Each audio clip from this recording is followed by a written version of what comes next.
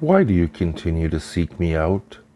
You cannot find me if I do not will it. I am the night, and yet you know I am here.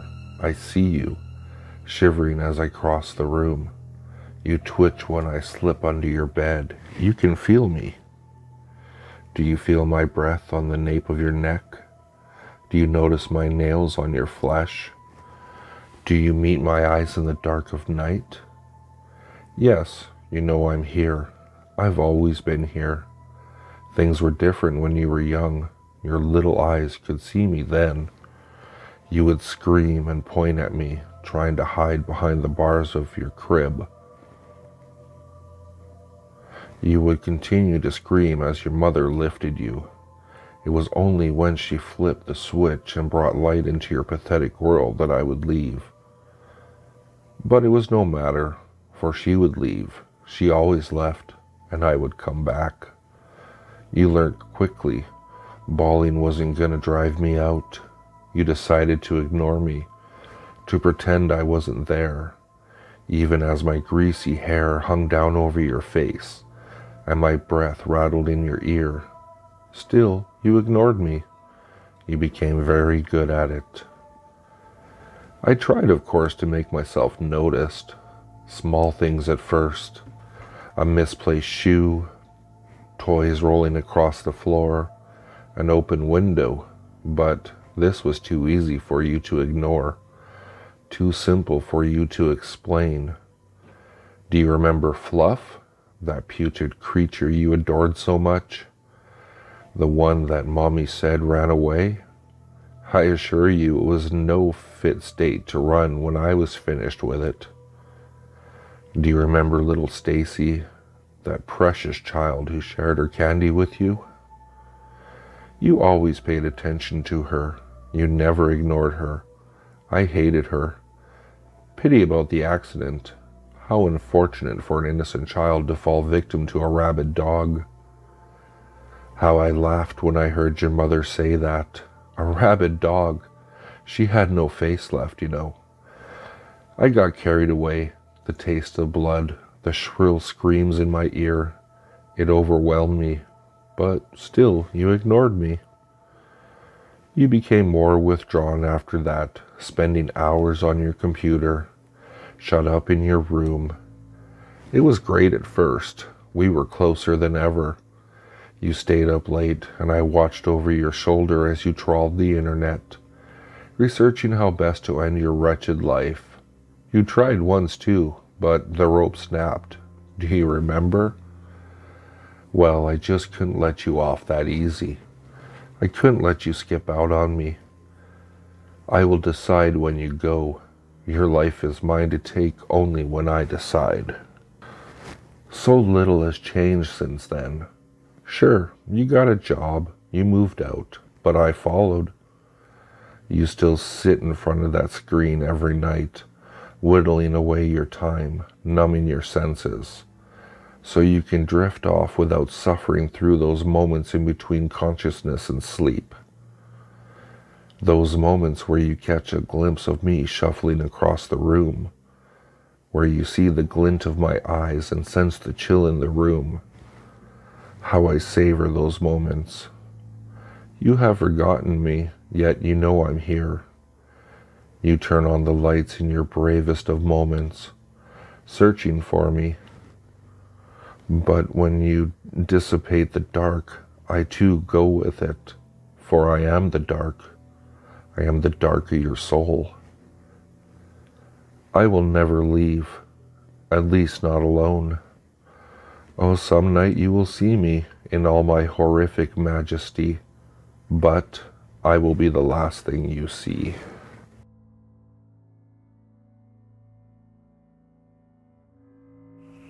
You're standing at the top of an ancient wooden staircase, looking down at the darkness beneath.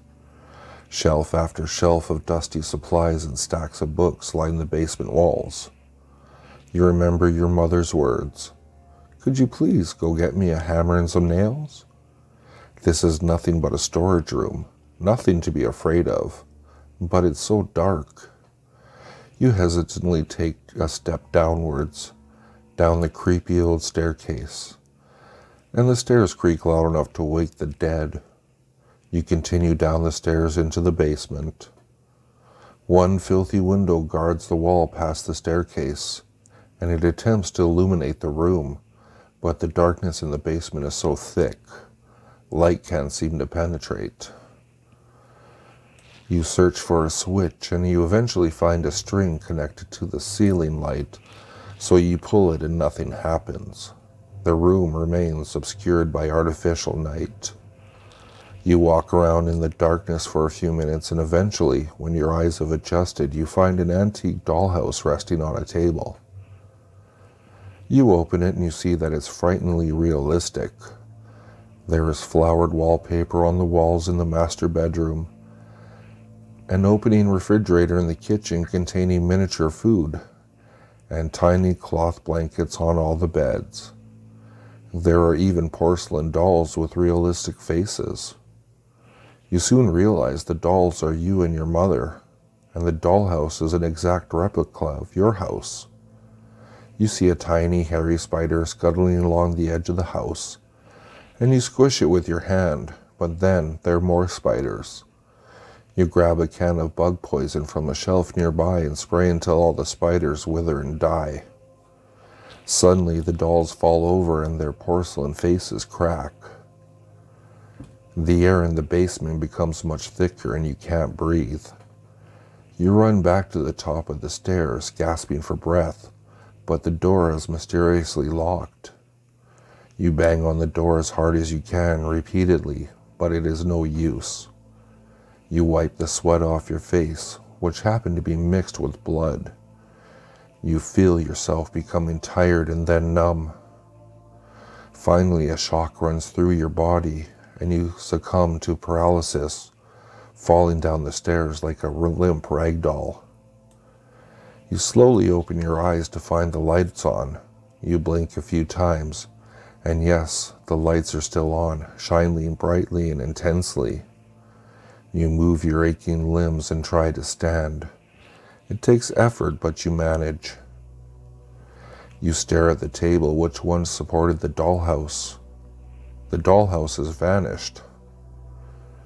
But even more intriguing, the long wooden box propped up against the wall to the left. You tentatively walk closer, shivering with each cold breath you take, and you realize what the box is a coffin. A large wooden coffin engraved in gold letters, your mother's last name. Curiosity gets the better of you, and you move your fingers to the coffin, pushing the lid slightly to find that the coffin is empty. Suddenly, you hear a female voice behind you. It's okay, I found the hammer and nails. You turn around to see your mother with pale white skin and blue lips. But that's not what you notice first. A series of cracks run through her face, with blood dripping from the crack lines. Her gray eyes flash for a split second as she opens the coffin and pushes you inside it. Shutting the door behind you, you are trapped. The last thing you hear is the sound of a hammer pounding the nails into your coffin.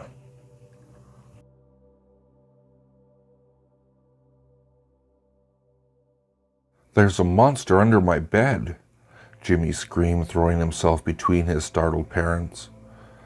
Mummy wrapped him up while Daddy offered assurances that monsters weren't real. Jimmy pleaded with him to go make sure, so he pulled himself up and plodded down the hall. All was well until they heard a loud thumping noise followed by silence. Jimmy's mother decided to check on her husband, leaving Jimmy alone in the dark.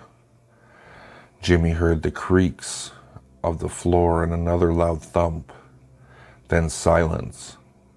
Jimmy lay there, hoping that his imagination was just running wild. He decided to go in and find out what was going on. Tiptoeing his way around the creaking floorboards, he peeked in through the keyhole to see his mother wiping the floor and his father leaned over the bed. Jimmy opened the door slowly. His mother hopped up, hiding her hands behind her back. Sorry, she said to him gently. Your father slipped on a toy and he tore your bed. He's sewing it back up and I'm just cleaning up.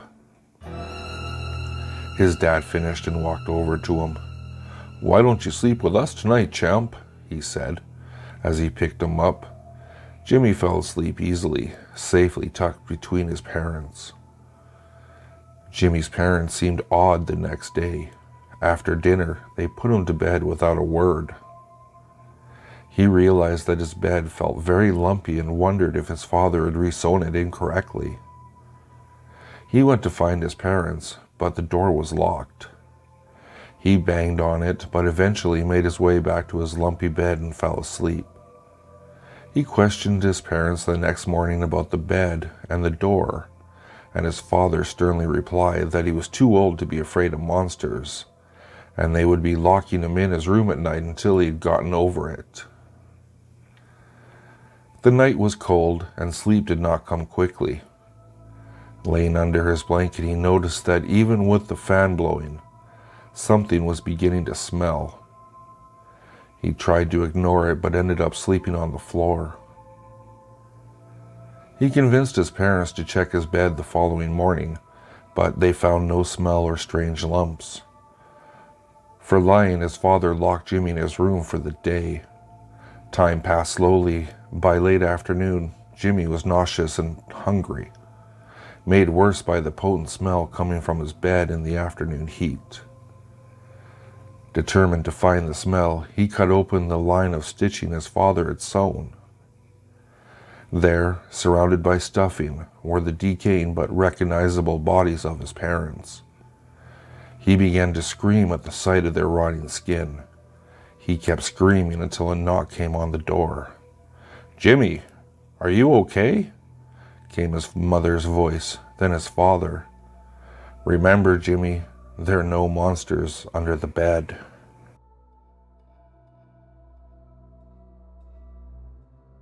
If you like what you heard, please like, subscribe, and share with your friends. If you'd like to, you can follow me at Twitter. The handle is at Fuzzy Pantaloons and I'll see you all next time.